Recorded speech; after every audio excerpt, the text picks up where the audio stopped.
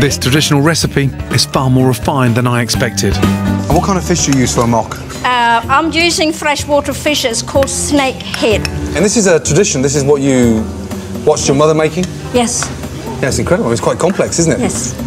The mixture is cooked in a palm leaf. And you're going to steam these. I'm going to steam these. Okay, into the steamer. And I've been Excuse me, darling. Wow, look at yours. And the results are fantastic. I'm amazed the way it's souffled up. Delicious. delicious. It's got a really nice, soft, Nice texture. Nice sweet texture. It's like a, a red pepper fish souffle, but mm-hmm. you've got the texture of the fish mm-hmm. and the sweetness without being overpowering. That's lovely.